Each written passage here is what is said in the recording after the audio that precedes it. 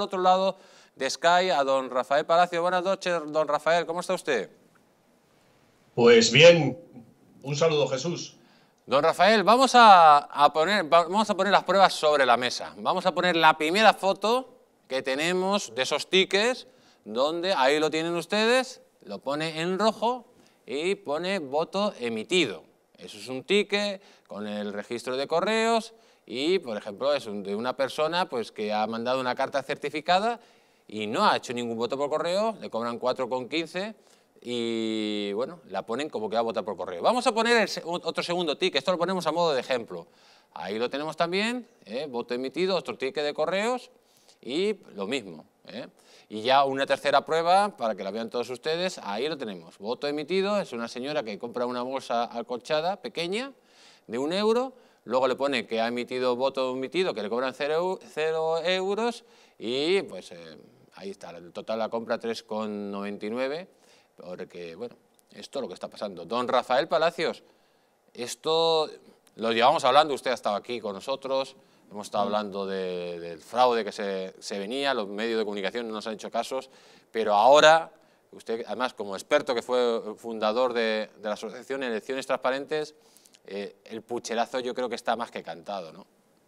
Cantadísimo. La diferencia, Jesús, es que a, diferencia de las otras elecciones éramos nosotros solos y ahora ya hay gran parte de los medios de comunicación de, digamos, patriotas que se están haciendo eco. Yo con respecto a esto, tengo que decir dos cosas. Una, que hay un fraude documental, es decir, se está asociando un, un voto que es un derecho eh, fundamental y bueno, que, evidentemente mm, eh, tiene que ver con la limpieza del proceso, que es el proceso electoral, que es la base de la democracia, con, una, con otra persona. Esto ya, independientemente de que nos creamos o no que ese error informático es cierto, que en informática, hay que decirlo, nada ocurre por casualidad, esto ya eh, faculta para que haya una investigación.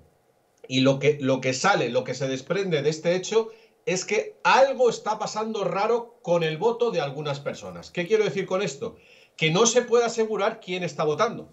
O sea, ya por sentido común, sin saber lo que está pasando dentro de Correos Jesús, si el voto se le asigna a una persona que no es la que ha votado, ¿quién sabe, quién puede asegurar que ese voto lo ha emitido la persona que quería votar y no se le ha atribuido a alguien, como se está sospechando, que es generalmente abstencionista?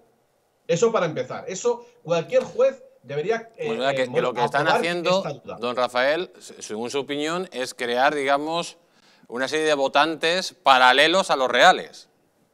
Exactamente, exactamente. ¿Y cómo se soluciona eso? Yo estaba oyendo a, Roberto Centeno y a José Antonio Vera y yo creo que falta ahí un, argumento, que es yo creo que eh, la manera de eh, aclarar lo que está sucediendo hay que decir que, de acuerdo a lo que ha venido sucediendo en otras elecciones, los votos por correo se mezclan con los votos presenciales, con lo cual nunca vamos a saber a qué partido corresponden esos votos por correo, que por cierto se han multiplicado hasta 250.000, según lo que se está diciendo. Lo que sí podríamos saber, ojo, lo que sí podríamos saber es cuántas, qué, qué personas, los nombres y los apellidos de esas 250.000 personas que supuestamente han emitido su voto por correo. ¿Para qué serviría eso?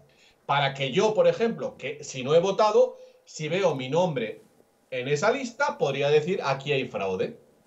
O sea, se solucionaba tan fácil como eso. Yo creo que PP y Vox deberían, el, al día siguiente de lo que sabemos que va a ocurrir, que va a ganar el, el PSOE con Podemos y con, y con Más Madrid, porque está claro que, que no se van a meter en este lío, si no, no van a llegar hasta el final, deberían pedir y que se hiciera público y, alguien dirá, no, es que la ley de protección de datos, no, perdona, porque ahí solo va a aparecer si ha votado.